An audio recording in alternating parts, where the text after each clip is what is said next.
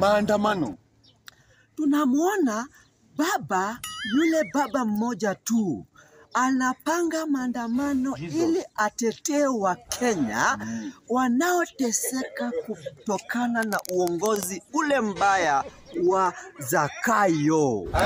Kwa maandamano tunaona mzee mtoza ushuru anapinga yale maandamano ili kwa sababu anajua maandamano itamrudisha chini, na hiyo ni upande wa uongozi mbaya. Kweli kabisa.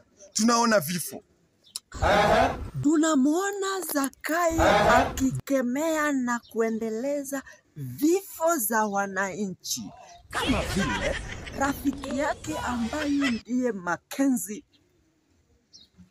si ndio?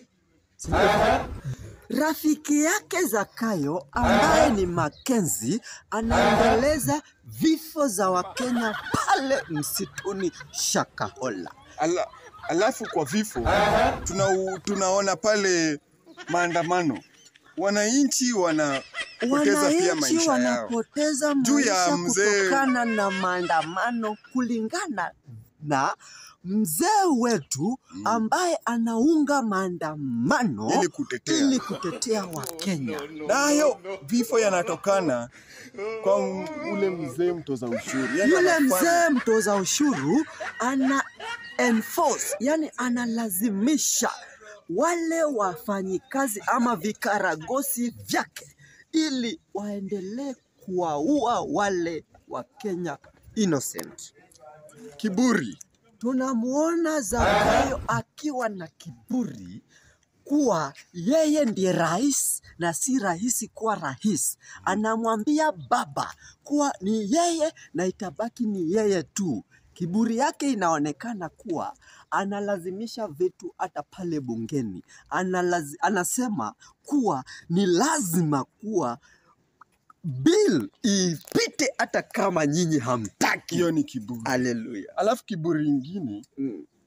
ni mzee mzima baba anapanga maandamano lakini huyo Gashagwa Mhm. Gashagwa anapinga yale maandamano pia hiyo ni kiburi na nimeona tena kibu gash Gashagwa ama ni Gashagwa naibu wa, wa Zakayo. Naibu wa Zakayo ana ako na kiburi kwamba yeye ni mtu wa shamba, amekuwa naibu wa rais na ile ushamba wake anatembea na kiburi sana kwa wananchi, akiwaambia kama amtaki basi msitake. ubomozi Tunaona Zakayo akiwabomoa wananchi nyumba ili kuwarekebisha, yani mazingira, yani kutengeneza mazingira na kutengeneza zile manyumba za kulipa mdogo mdogo. Sijui ni za M-Kopa hizo manyumba ama ni za nani? Ni za mkopa, unalipa mdogo mdogo, ni za M-Kopa, si ndio? Endelea. uongo na ubinafsi uongo na ubinafsi. Tunamwona Zakayo akiwa na ahadi hewa, kama vile anadanganya wa kenya kuwa atawaletea, nitawatengenezea, tutawa- tuta tutaongea na waziri kabla ya mwisho ya mwaka huu, baada ya miezi sita. Yani anadanganya Wakenya kupitia zile muda wa Kenya wako nayo na ahadi yake haitimii. tupatane next lesson Asanteni sana.